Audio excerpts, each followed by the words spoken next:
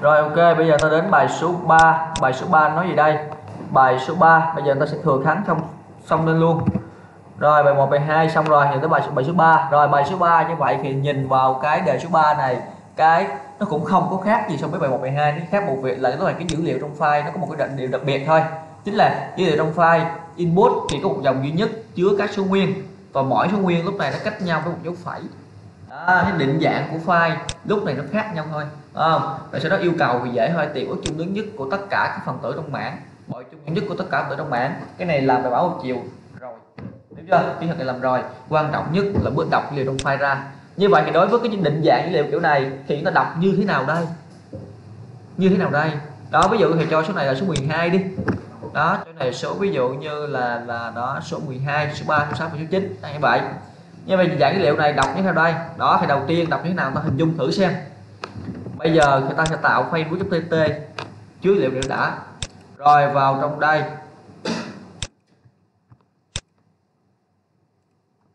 Zoom lên. Rồi vào trong file này.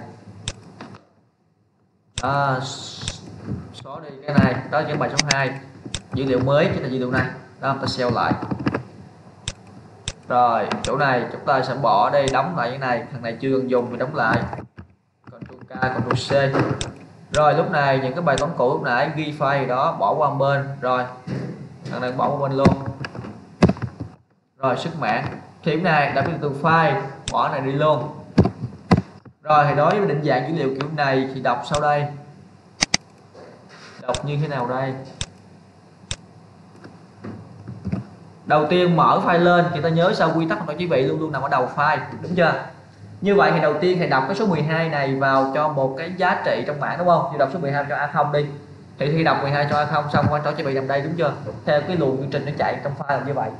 Hợp lý không? Thì nếu ta tiếp tục đọc cái giá trị tiếp theo vào cho A1 đi, thì chắc chắn nó sẽ đọc cái giá trị dấu phẩy vào cho A1 thì như vậy sẽ bị lỗi rồi, đúng không? Bởi vì cái bảng ta là bảng số nguyên, làm sao mà chứa cái dấu phẩy nữa ok chưa? Như vậy cái này rất là đơn giản thôi. Là tư duy chúng ta là sao? Là sau khi đọc xong một giá trị số nguyên vào trong bảng thì ta phải có một cái bước điểm có tác dụng là sao? Là cho trỏ chỉ vị nhảy sang dấu phải, nghe nằm sau cái dấu phải. đúng chưa? Thì ta tiếp tục đọc giá trị tiếp theo nữa, thì sẽ đọc cái số nguyên tiếp theo là số 3 và cho A1 thì sẽ đọc xong số 3 và cho A1 thì trỏ chỉ vị vẫn nằm sau cái số 3 thì tư duy tiếp tục sao? Cũng phải cho con trỏ chỉ vị, sau đó nó nhảy sang cái dấu phẩy nó nhảy nằm sau dấu phẩy này. Thấy chưa? Đó, thì tư duy là như vậy. Thì con trỏ này gọi con trỏ chỉ vị, nó gọi cái tên của cái cái cái cái file này, thấy chưa? Đó, ý nghĩa nó như vậy. Con trỏ chấp nháy nháy nè, người ta gọi là con trỏ chỉ vị. Bởi vì nó chỉ vị trong file. Mỗi lần ta đọc một giá trị trong file ra, thì trỏ chỉ vị này sẽ bị dịch chuyển. Thì đây là con trỏ chỉ vị, thấy chưa? Đó, như vậy tư duy cũng đơn giản thôi. Chúng ta sẽ dùng một cái dấu phẩy là gì đây, chứ phải là ký tự, đúng không? Như vậy ta sẽ dùng một cái ký tự, khai báo một cái character x chẳng hạn đi, làm cái làm cái bước điểm, đọc cái dấu phẩy này vào cho cái ký tự x đó mục đích là sao? Mục đích đọc dấu phẩy vào cho ký tự ít là để cho tổ chỉ vị nó nhảy sang dấu phẩy nào. Rồi chúng ta bắt đầu sao? Bắt đầu vào chúng ta thiết thiết lập thôi. Như vậy hãy tiếp tục để lại cái file in lf này. Đó, tương tự vậy ví dụ này dữ liệu trong file chỉ có một dòng duy nhất thôi. Không biết bao nhiêu phần tử hết. Rồi chúng ta là file in an đúng chưa? Đọc giá trị từ file vào cho chương trình. Thì sau khi đọc xong con trỏ chỉ vị sẽ nằm sau cái số gì đây? Mở file lên lại tiếp tục nói tiếp. Trỏ chỉ vị nằm sau số 12 thì vậy ta không thể nào đọc tiếp tục được. Thì chúng ta sẽ làm một bước điểm. Là cái bước đọc cái dấu phẩy này vào trong một cái ký tự. À, thì sư đọc dấu phẩy vào cho xong trò chỉ vị sẽ nằm sau dấu phẩy. Cái luồng chương trình nó chạy luôn luôn như vậy. Thì ta khai báo một cái character đây một character ít sau đó dùng cái lệnh là file đây file x là sao đó chỗ này có nghĩa là đọc dấu phẩy vào cho biến x cho con. Để con trỏ chỉ vị nhảy sang. Nhảy qua dấu phẩy thấy à, đó. Rồi tôi chạy trình lên thử xem. Đọc đúng không? 12 3 6 và 9 hiểu chưa? Còn nếu như chúng ta không có cái bước điểm này thì chương trình sẽ bị lỗi ngay lập tức. Đó bởi vì đọc dấu phẩy vào cho cái bảng số nguyên thì chắc chắn sẽ bị lỗi. Tôi bỏ vào dấu phẩy. Thấy không? Chương trình tắt luôn.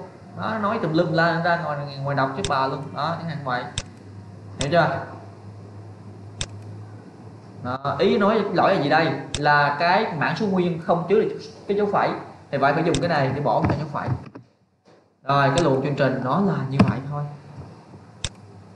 không à, đọc những người bước đọc file. Nè đầu tiên là file in an là phi a không. Đọc số 12 cho a không xong.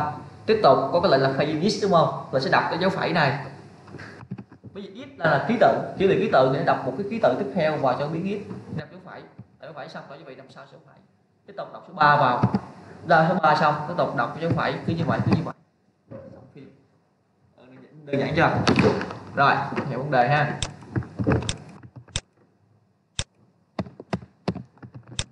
Rồi, xong. Xuống đây. Sau khi đọc dữ liệu xong, chúng ta tiếp tục làm câu tiếp theo. Chính là đề bài yêu cầu chính là tìm về đây? Tìm ước chung lớn nhất của tất cả người trong bảng này. Và tìm bội chung nhất của tất cả người trong bảng này thì đơn giản rồi. Tìm ước chung lớn nhất của tất cả người trong bảng thì đơn giản thôi. Chúng ta sẽ tìm ước chung lớn nhất của hai này lưu vào một cái biến x đúng chưa? Sau đó chúng ta sẽ tìm giá trị ước chung lớn nhất của biến x đó và cái phần tử tiếp theo. Đúng không? Sau đó lưu ngược lại vào biến x rồi tiếp tục, lấy giá trị biến x đó, tìm với cái phần tử tiếp theo. Cứ như vậy, nó gọi là bài toán cuốn chiếu thấy chưa?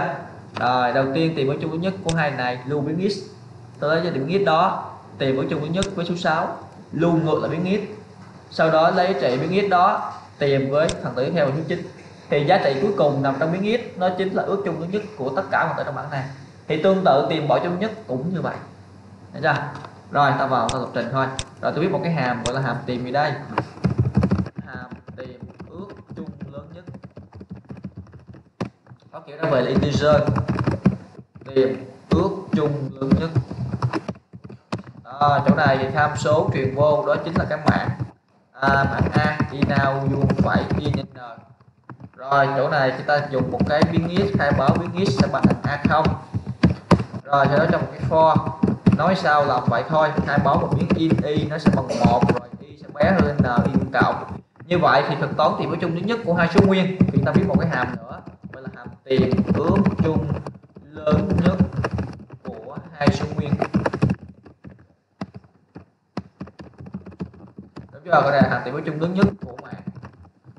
Rồi, như vậy thực toán Euclid, quen thuộc. Rồi, integer, cái này chính là ước chung lớn tham số truyền vô là inis phải inis thực toán Euclid như sau, dùng một vòng lặp y thì nếu như giá trị x mà nó nó nó khác y, thì ta tiếp tục cho vòng lặp này nó là x khác y. Và nếu như mà x nó như thế nào, nó lớn hơn y, thì chúng ta sẽ cập nhật lại chữ x này nó sẽ bằng x trừ đi gì đây? Trừ đi y. Còn ngược lại, nếu nếu như giá trị x này nó mà bé hơn y ta sẽ cho y này cập nhật lại là y bằng trừ đây, trừ x. Sau đó ta sẽ return một trong hai hàng ra. Return giá trị một trong hai hàng đó chính là ước chung lớn nhất của hai hàng này. Rồi này sẽ gọi lại, ta sẽ tìm ước chung lớn nhất, gọi là toán tìm ước chung lớn nhất. Tham số trường vô là x phải và ai đúng chưa? Sau đó, sau khi tìm ước chung lớn nhất của x và ai xong, chúng ta sẽ gán ngược lại cho biến x.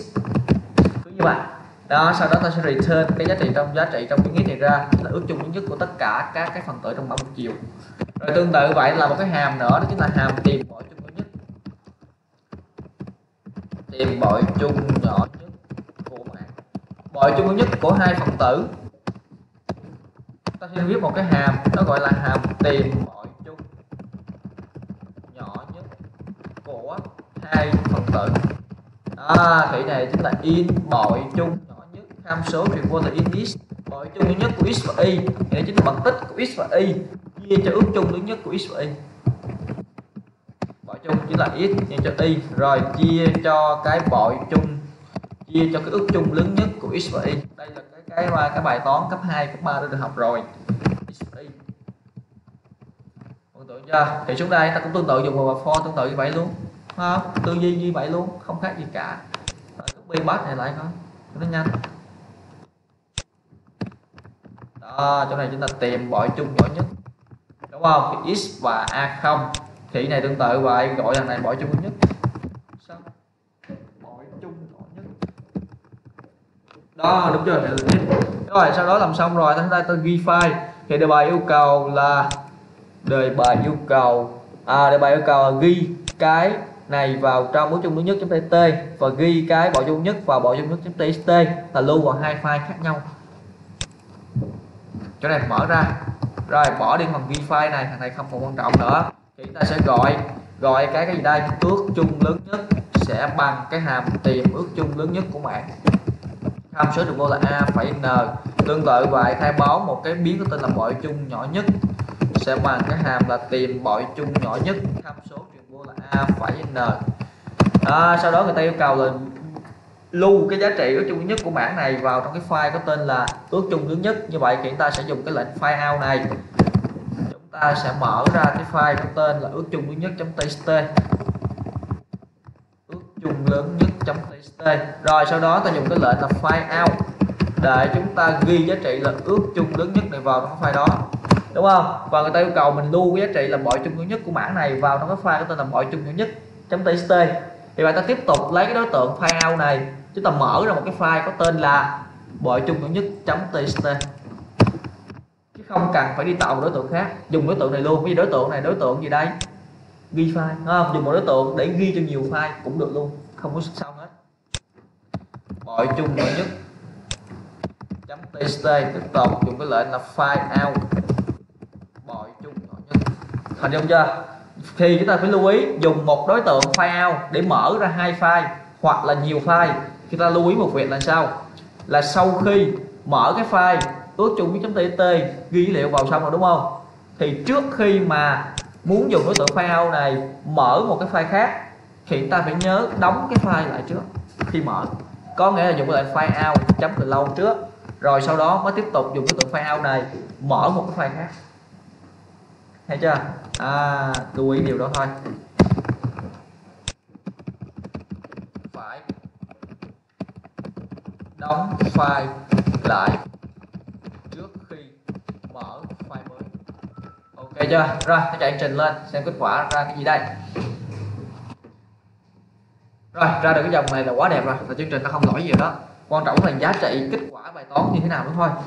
Rồi vào trong đây mở lên coi xem thì chúng ta có file input đó chính là các giá trị đó chính là 12 3 6 và 9 như vậy ước chung lớn nhất của 12 3 6 9 là là là là mấy? Là 3 thì bỏ chung nhỏ bỏ chung nhất của bốn cái này, này là mấy? Tính rồi 12 3 bỏ chung nhỏ nhất là mấy? Tích của hai này chia cho ước chung nhất của hai này thì 3 cho 12 là 36 đúng không? 36 mà chia cho ước chung nhất của 12 3 là mấy? Là 3 thì 36 chia 3 là mấy? Là 12 ok chưa? Tiếp tục lấy thầy 12 đó. Đi tìm bỏ chung nhất của 12 và 6 rồi 12 và 6 thì bỏ chung nhất của hai này là mấy? Thì 12 nhân 6 là mấy? Là 72 72 mà chia cho ước chung lớn nhất của 6 12 là mấy? Là 6 đúng không? Như vậy thì 72 chia 6 là mấy? Tiếp tục lại là 12 rồi tương tự vậy tìm ước, tìm bỏ chung nhỏ nhất của 12 và 9 như vậy thì tích của 12 và 9 là mấy? 9 nhân 2 là mấy? Là 18 là 108 đúng không? 108 mà chia cho ước chung lớn nhất của 9 và 12 là mấy? Là 3 108 chia 3 được mấy? Có vẻ lẽ chúng ta nhảy số nó hơi chậm vậy. Đúng không? Có vẻ ta nhảy nhảy số nó hơi chậm á. Cố gắng nhảy số rất là nhanh coi trong này con nó hỏi trời ơi, ba ơi, ba nhưng 18 là mấy? Ba ngồi bên máy tính mà bấm thì thua rồi. Hay lấy cái điện thoại smartphone mà bấm mà chết luôn rồi. Chúng ta phải nhảy số nhanh coi. Đó là mấy? 108 chia 3 là mấy? Rồi, ước chung nhất nè, là ba. Không nói nhiều đúng chưa? Còn bội chung nhất là mấy đây? Bội chung nhất chính là 36 có phải 178 chia 3 ra 36 đúng không? 3 nhân 6 là 18 nhân 8 nhân 1 33 9 9 1 10 508 trời ơi. Đúng rồi. Đó hiểu chưa? Rất là đơn giản. Rồi xong phim không gì. Lăn tăng cả à, người ta xem lại ta ngẫm lại mới hiểu được thôi số chậm quá.